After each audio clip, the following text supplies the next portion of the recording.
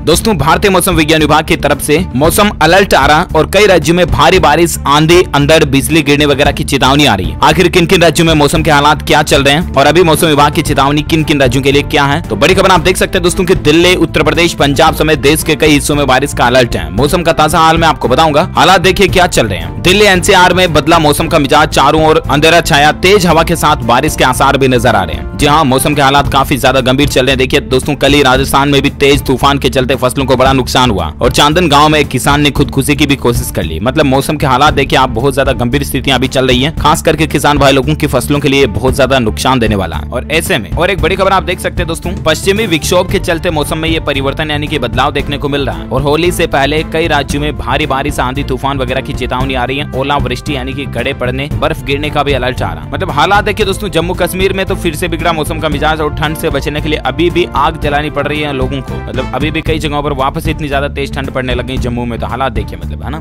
और ऐसे में दोस्तों, अभी भारतीय मौसम विज्ञान विभाग की तरफ़ से क्या भविष्यवाणी निकल कर आ रही है और क्या ताज़ा अपडेट आ रहा है? अगले तीन दिन तक किन किन राज्यों के लिए बारिश का अलर्ट है? मैं आपको बता दूँ दोस्तों, मौसम विभाग की चेतावनी के मुताबिक दिल्ली, एनसीआर के साथ साथ पंजाब, हरियाणा, पश्चिम उत्तर प्रदेश और उत्तर पश्चिम भारत के कई राज्यों में बारिश के आसार है। अगले तीन दिन तक उत्तर प्रदेश, हरियाणा और राजस्थान में भी बारिश की चेतावनी है। कहीं कहीं बारिश होगी तो कहीं ओले भी गिरेंगे। ओलावृष्टि की संभावना ने किसानों की चिंता को बढ़ा दिया है। वहीं दिल्ली, राजस्थान, हरियाणा और उत्तर प्रदेश के कई इलाकों में तो अगले कुछ घंटों में ही बारिश की चेतावनी निकल कर आ रही है। संपूर्ण भारत का 24-25 मार्च का मौसम पूर्वानुमान आखिर क्या कहता है? तो अगले 24 से 48 घंटों के दौरान जम्मू कश्मीर गिलगित, बाल्टिस्तान, मुजफ्फराबाद और हिमाचल प्रदेश में तो हल्के से मध्यम बारिश हो ही सकती है। इसके अलावा लद्दाख और उत्तराखंड में भी कहीं कहीं बारिश बर्फबारी हो सकती है। पंजाब, हरियाणा, उत्तरी राजस्थान के कुछ इलाकों में इसके अलावा दक्षिण पूर्वी मध्य प्रदेश, विदर्भ, मराठावाड़ा, छत्तीसगढ़ के कुछ हिस्सों में भी हल्के मध्यम बारिश देखने को मिल सकती है। वहीं मध्य महाराष्ट्र, केरल में भी हल्की बारिश की संभावना है, जबकि उड़ीसा और उत्तरी तेलंगाना में भी कहीं कहीं बारिश का अनुमान है। ओके तो ये रहा दोस्तों देश भर का अगले 24 से 48 घंटों के दौरान का मौसम पूर्वानुमान। उम्मीद है ये वेदर अपडेट आपको जानने मिला होगा। वैसे आप मुझे नीचे कॉमेंट करके बताइएगा दोस्तों की आप कौन से राज्य में रहते हैं, ताकि पर्टिकुलर मैं आपके राज्य के समाचार भी आपके मोबाइल तक पहुँचा पाऊँगा। और बाकी इस वीडियो को लाइक करना शेयर भी करना अपने दोस्तों के साथ फेसबुक और व्हाट्सएप पर। और हाँ D L S news channel को नीचे लाल बटन दबाकर सब्सक्राइब करके बेल आइकन भी ज़रूर दबा देना। इससे होगा कि आप रोज़ाना की ताज़ा खबरें और मुख्य समाचार तुरंत आपके मोबाइल पर देख पाओगे। ओके मिलेंगे अगले नेक्स्ट अपडेट में। तब तक के लिए thank you take care goodbye जय हिंद, जय भारत, वंदे मातरम।